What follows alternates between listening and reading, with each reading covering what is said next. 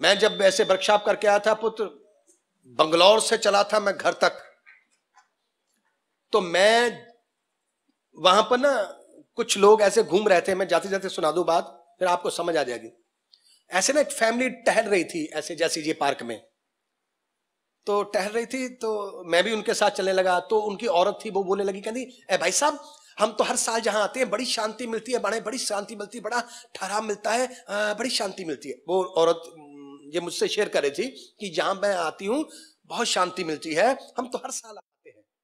तो मैं तब, आप जैसा था, मुझे ये चीज़ों की नॉलेज अध्यात्मिक की ये नॉलेज नहीं थी, शांति क्या होती है, ये मुझे नॉलेज नहीं थी। तो कहने लगे, हमें बड़ी शांति मिलती है, हम हर साल आते हैं। तो मैं यहाँ से मांग गया था, मेरा दस हज़ार रुपया खर्च हुआ था। अरे, मैंने कहा, जानी, ये शांति लेने के लिए अगले साल फिर आना पड़ेगा मुझे? ओ, मैं कहा, ये तो बड़ा घाटे मन होता मैं हूँ बताता हूँ ये पागलपंथी क्या रिज़ल्ट देती है? उन फैमिली ने मुझसे शेयर किया कि हर साल हमें ऐसी चीज़, ये शांति पाने के लिए हम आते हैं। मैंने कहा, मैं एक बार शांति लेकर मैं वापस नहीं दूँगा। सही बताऊ वहाँ बात? मैंने वो शांति जो मुझे मिली ना, मैं बंगलौर से निकलकर कन्याकुमारी से मुद्रई होता हुआ, घूमता हुआ 28 दिन का टूर था। मैं घर तक आया, मैंने एक भी मोती वेस्ट नहीं किया।